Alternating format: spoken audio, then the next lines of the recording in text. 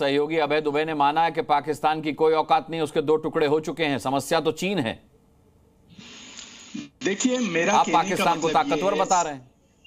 मैं पाकिस्तान को ताकतवर बिल्कुल नहीं बता रहा हूँ मैं ये बोल रहा हूँ कि जिस उद्देश्य से सर्जिकल स्ट्राइक की गई थी वो उद्देश्य सफल होते हुए दिख नहीं रहा क्योंकि उन्होंने कहा था कि हमने अंदर घुसकर इतने आतंकवादियों को सबक सिखाया इतने आतंकवादियों को मारा है कि इसके बाद आतंकवादी हमला हमारे देश पर नहीं होगा। लेकिन हो रहे मैं ये बोलने चाह रहा हूँ तो हमारे समस्या का समाधान नहीं हुआ है। और आखिरी बात मैं यहाँ पर यह रखना चाहूँगा कि प्रधानमंत्री जी पाँच साल हुए पुलवामा के बारे में आज तक हमारे देश के नागरिकों को क्या जानकारी हासिल हुई है? किसने ये हमला किया?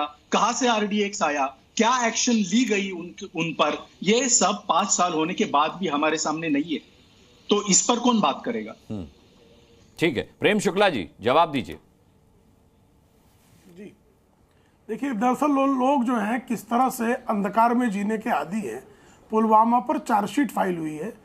उस चार्जशीट में कहाँ से आरडीएक्स आया है? वहीं से आया है 12 मार्च उन्नीस सौ तिरानवे में शरद पवार के साथी, शरद पवार के साथी जहाँ से आरडीएक्स ले आए थे। और शरद पवार के एस एन थापा से बड़े करीबी संबंध थे। शरद पवार के अबू हासिम आदमी से बड़े करीबी संबंध थे। टाइगर मेमन जो है, दाऊद इब्राहिम, शरद पवार के बहुत करीबी थे। अनीस इब्राहिम, जो शरद दाऊद इब्राहिम का छोटा भाई था, वो एक ट्रस्ट में शरद पवार के साथ ट्रस्टी भी था, ये भी जान लीजिए आप।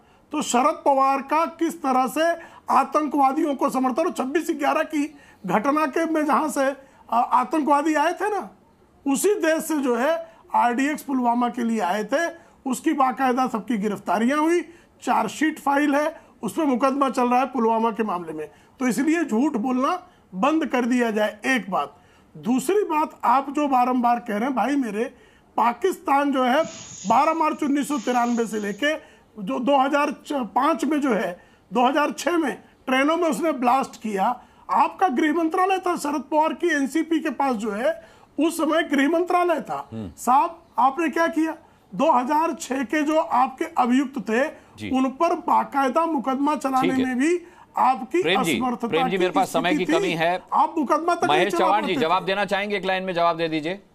बिल्कुल बिल्कुल जवाब देना चाहूँगा। जिस शरद पवार की अभी प्रेम शुक्ला जी बात कर रहे हैं बड़ी अभिमान से हमारे देश के प्रधानमंत्री नरेंद्र मोदी जी कहते हैं कि मैं शरद पवार जी की उंगली पकड़ के राजनीति में आया। क्या नरेंद्र मोदी जी को मालूम नहीं था? सुनिए सुनिए। भटकती क्या नरेंद्र मोदी जी- सुनिए ना। भटकते हुई आत्मा। वोटों के लिए भटकते भटकते आपके प्रधानमंत्री पूरी देश में घूम रहे आत्मा। वोटों के लिए भटकते भटकते आपके भटकती आत्मा। अठारह सभाएँ महाराष्ट्र में ले चुकी है तो भटकती भटकती भटकती आत्मा आत्मा। कौन है आप जनता से पूछिए प्रधानमंत्री जी है और- शरद पवार और जी बाला साहब ठाकरे कहते थे, वोटों मैं के लिए। जैसा पोत्या। शरद पवार साहब ने बताया है ठीक है। है। लेकिन किसानों की समस्या चलिए ठीक है मैं एक क्लोजिंग कमेंट राजीव रंजन जी से लेना चाहूँगा राजीव रंजन जी कुल मिलाकर के विपक्ष का आरोप यह है कि बेरोजगारी पर मोदी जी नहीं बोलते मोदी जी बढ़ती हुई महँगाई पर नहीं बोलते तो फिर हिंदू मुस्लिम करते हैं तो फिर भारत पाकिस्तान करते हैं। और यही अब इस चुनाव में भी देखने को मिल रहा है।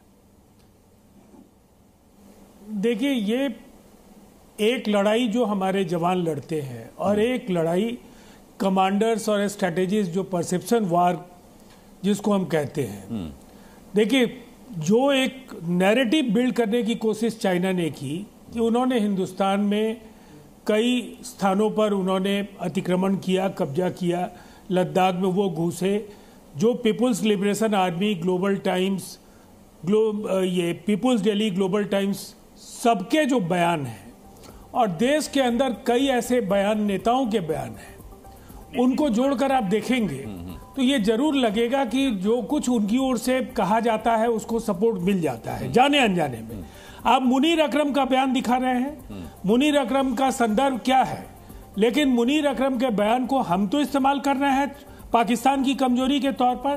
तो हमारे नेताओं के बयान को, वहाँ चाइना में जो दो उनके बड़े जो प्रीमियर डेलीज या मैगजीन्स हैं ठीक है। वो अपने तरीके से उसका इस्तेमाल कर रहे हैं कुल मिला के राजीव रंजन जी होना ये चाहिए कि चुनाव भले ही परस्पर पार्टियों का पक्ष विपक्ष की आपसी लड़ाई का एक उत्सव है एक बड़ा प्यारा उत्सव है लेकिन उसमें भी किसी भी तरीके से बयानबाजी किसी की तरफ़ से भी ऐसी नहीं होनी चाहिए जिसमें अपने देश को आप कमज़ोर पोर्ट्रे करें, उसको मजबूर पोर्ट्रे करें, उसे दुश्मन देश से ज़्यादा, दुश्मन देश को ज़्यादा और अपने देश को कमतर आप प्रोजेक्ट करने की कोशिश करें। यह राजनीति नहीं होनी चाहिए, लड़ाई में इस तरीके के दांव पेश नहीं होने चाहिए। बहरहाल, आज की डिबेट में सभी मेहमानों का शामिल होने के लिए मैं बहुत बहुत धन्यवाद करना चाहूँगा। ताल ठोक के में शामिल होने के लिए आप सभी का बहुत बहुत आभार। कल शाम पाँच बजे फिर एक मुद्दा लेकर के सवाल करेंगे.